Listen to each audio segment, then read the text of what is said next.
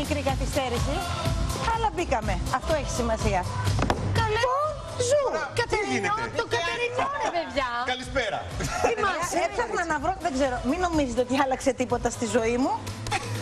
Άλλαξα κάτι που δεν το βάζω πια συχνά. Καταλαβαίνετε εσείς τα κορίτσια. Αλλά όταν φοράω το συγκεκριμένο, Καλημέρα στα κορίτσια. είναι σαν να είμαι εγώ Και τα κορίτσια σου.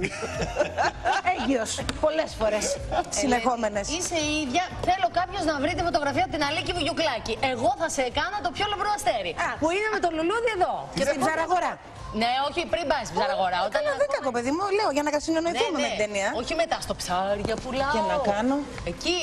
Το λουλούδι το βλέπετε, από τα μαλλιά φεύγει, δεν είναι χρήσιμο.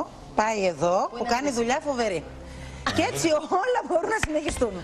Τέλεια. Τι κάνω καλά είμαι. Ξέρω εγώ.